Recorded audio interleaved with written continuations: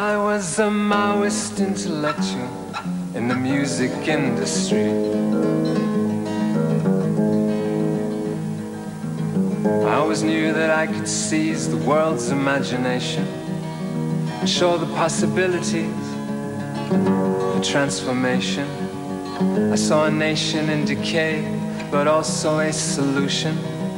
Permanent cultural revolution. Whenever I played my protest songs, the press applauded me. Rolled out the red carpet and parted the Red Sea. But the petit bourgeois Philistines all stayed away. They preferred their artists to have nothing to say.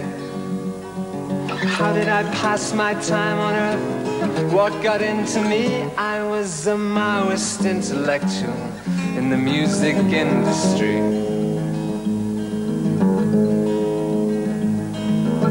I showed the people how they lived and told them it was bad. I showed them the insanity inside the bureaucrat and the archetypes and stereotypes that were my stock in trade. Toppled all the ivory towers which privilege had made. Though I tried to change your mind, I never tried your patience. All I tried to do was to point out your exploitation. But the powers that be took this to be a personal insult and refused to help me build my personality cult. How did I pass my time on earth? Now it can be revealed I was a Maoist intellectual in the entertainment field. I left the normal world behind and started living in the hinterland between dissolution and self-discipline. I burned the midnight oil to build my way of seeing, like a miner at the coal face of meaning. The rich despised the songs I wrote, which told the poor their worth, told the shy to speak, and told the meek to take the earth. But my downfall came from being three things the working classes hated agitated, organized, and overeducated.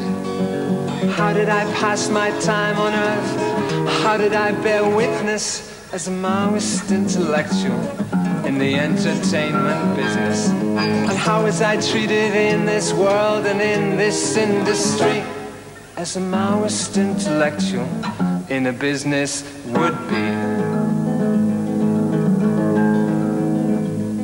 I became a hotel doorman.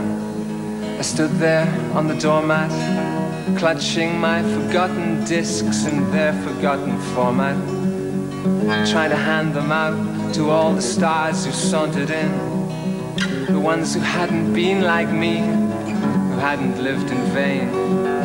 I gave up ideology the day I lost my looks, I never found a publisher for my little red book.